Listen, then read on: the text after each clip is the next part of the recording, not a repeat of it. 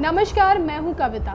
पड़ोसी मुल्क पाकिस्तान में मतदान जारी है, जो कि शाम 6 बजे तक रहेगा, जिसके बाद आज ही चुनावी नतीजों का ऐलान हो सकता है। आधी रात को ही तस्वीर साफ़ हो जाएगी कि पाकिस्तान के तख्त पर कौन बैठेगा। इमरान खान, नवाज़ शरीफ के भाई, शहबाज खान या फिर बिलावल अली भुट्टो। देखिए ये रिपोर्ट। पाकिस्तान के लिए आज सबसे बड़ा दिन है क्योंकि लोकतांत्रिक तरीके से एक बार फिर सरकार चुनी जाएगी, जिसके लिए तमाम राजनीतिक पार्टियाँ अपनी चुनावी ज़मीन तलाश रही थी।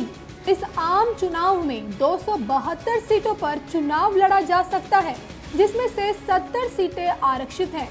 चुनावी अखाड़े में तीन हज़ार पाँच सौ उनचास उम्मीदवार उतरे हैं, जिनका राजनीतिक भविष्य तय करेंगे। पाकिस्तान के 10.5 करोड़ रजिस्टर्ड वोटर्स। सुबह छह बजे से ही वोटिंग जारी है, बैलेट पेपर पर वोटिंग हो रही है। इस बीच पाकिस्तान मुस्लिम लीग के चीफ शहबाज शरीफ वोटिंग करने लाहौर पहुँचे। इस बीच इमरान खान की पार्टी तहरीक इंसाफ और शहबाज शरीफ के पार्टी के कार्यकर्ता आपस में भिड़े, लेकिन वोटिंग बूथ पर तैनात पाक पुलिस और फौज ने हालात संभाल लिए। वैसे आपको बता दें कि पिछली सरकार का कार्यकाल 31 मई को पूरा हो गया था, लेकिन राजनीतिक उथल पुथल के चलते तत्कालीन नवाज़ शरीफ को जेल जाना पड़ा।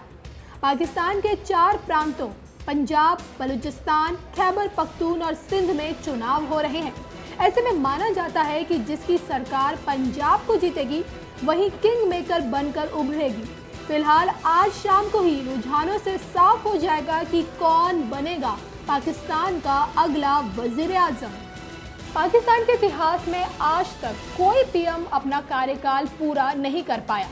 बावन फ़ीसदी सूबे में सेना का हमेशा राज रहा।